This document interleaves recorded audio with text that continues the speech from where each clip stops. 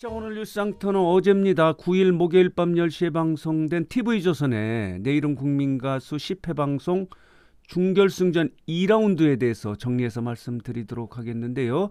어제 방송에서 준결승에 진출한 14명 중에서 결승전에 진출할 top 10이 확정 공개가 됐는데요. 자 보도록 하겠습니다. 이런 제목의 기사가 나와 있습니다. 내일은 국민가수의 결승 진출 top 10이 확정 공개가 됐는데 시청률이 15.294예요. 반올림해서 15.3%를 찍었는데 아, 아쉽습니다. 전주보다 시청률이 떨어졌어요. 전주가 15.5%였는데 15.3%로 0.2% 포인트가 떨어진 거예요. 준결승전이 경연 중에서 가장 긴장되는 경연이라고 할 수 있거든요. 왜냐하면은 결승전에 진출하는 최종 관문이기 때문에 긴장돼서 대체적으로 중결승전 시청률이 굉장히 높아요. 자, 보도록 하겠습니다. 미스터 트롯 같은 경우는 중결승 2라운드 10회 방송이 무려 33.8%예요. 국민 가수의 시청률이 절반도 못 미치는 겁니다. 더 중요한 것은 뭐냐면은 9회 방송보다도 시청률이 떨어졌다는 겁니다. 그만큼 화제성이 떨어진다는 얘기죠. 긴장감이 없는 거예요. 시청자들이 본방을 사수하지 않는다 이렇게 볼 수 있는 거예요. 아, 왜 그럴까요? 뉴스상터가 일전에도 지적을 했지만은 문제는 뭐냐면 결승 진출의 문이 너무 넓다.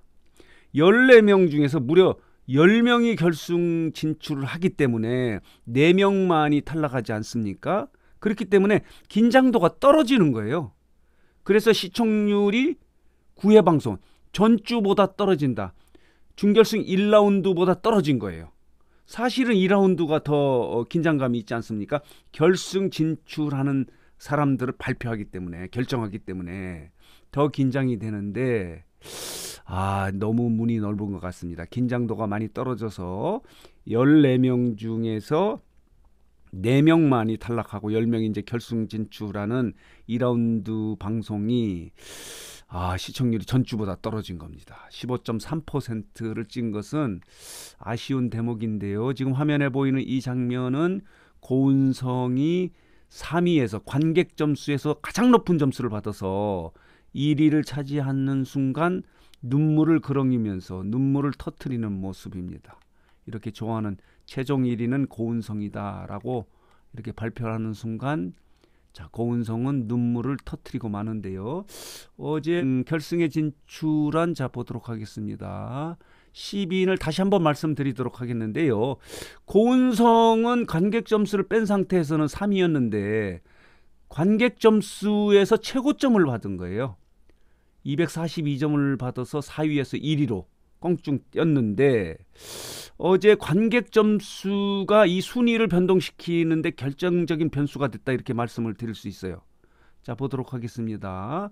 그 중에 한 사람이 조현우가 관객 점수에서 3위를 받았는데 그래서 8위 8위 그대로 됐고요. 중요한 것은 이솔로몬도 2위 그대로였고요. 어, 자 보도록 하겠습니다. 손진욱도 관객 점수를 좀 높게 받아서 자 12에서 9위가 됐고요. 김영음이 관객 점수에서 95점을 받, 받아서 이 관객 점수를 뺀 상태에서 8위에서 11로 아슬아슬하게 결승에 진출했습니다. 그리고 박장현도 관객 점수를 적게 받아서 6위에서 7위가 됐고요. 이병찬은 대국민 응원 투표에서 어, 높은 점수를 받아서요. 자, 보도록 하겠습니다. 그 전까지만 해도 14위였었습니다. 라이벌전하고 1대1 어, 한국 대결에서 14위였는데 이렇게 관객 점수와 대국민 응원 점수에서 높은 점수를 받아서 이렇게 안정적으로 6위로 결승전에 진출했습니다. 아, 이병찬은 화제성과 인기가 가장 높은 참가자다 이렇게 말씀을 드릴 수 있고요. 김동현 같은 경우는 관객 점수를 뺀 상태에서 2위였다가 130점을 맞아서 아주 낮은 점수를 맞아서 5위로 이렇게 추락을 하고 말았는데요. 이렇게 어 14명 중에서 10명이 결승에 진출했고요. 어 탈락한 4명은 하동현, 김유아, 김성준, 임한별인데 이 중에서 어, 하동현의 탈락에 대해서 아쉬워하는 시청자도 굉장히 많았습니다. 동굴 voice, 어, 라면 가게 테리우스, 아, 깊은 저음, 아주 독보적인 톤의 저음을 갖고 있지 않습니까? 하동현의 탈락에 대해서는 댓글을 통해서 많은 팬들이 시청자들이 아쉬워하는 그런 댓글을 많이 올렸다고 이렇게 말씀드릴 수 있는데 자 보도록 하겠습니다. 어제 정말 아쉽습니다. 시청률이 전주보다 어, 결승에 진출하는 10명을 결정하는 확정하는 방송에서 전주보다 시청률이 떨어졌다는 것은 그만큼 내일은 국민 가수의 화제성, 인기가 그렇게 높지 않다. 물론 뭐 타 오디션보다는 월등하게 높은 시청률을 보이고 있는 건 사실이지만 미스트롯이나 미스터 트롯에 비교해서는 너무 낮은 특히 어, 화, 아, 결승 진출의 10명을 뽑는 결승 진출자를 확정하는 방송에서 전주보다 시청률이 0.2% 포인트나 떨어졌다는 거는 아, 이거는 좀 문제가 있는 것 같습니다. 자, 그렇고요. 이렇게 준결승이 마무리됐고요.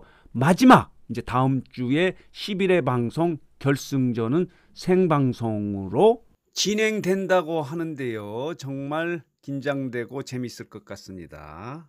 여기에는 대국민 문자 투표도 있어서 과연 어, 결승전에서 누가 3억 원의 주인공이 될지 하는 부분하고요. 1, 2, 3위가 누구일지 하는 부분도 어, 관심거리인데 과연 마지막 결승전의 시청률은 뭐 준결승 2라운드보다는 높겠지만은 어느 정도 찍을지 하는 부분도 재밌게 볼 수 있는 관전 포인트다. 이렇게 말씀을 드릴 수 있습니다. 자, 오늘 뉴스 장터는 어제 방송된 내일은 국민 가수의 준결승전 2라운드 결승에 진출하는 top 10을 결정하는 방송과 관련해서 정리해서 이 방송을 정리해서 여러분들에게 말씀을 드렸습니다.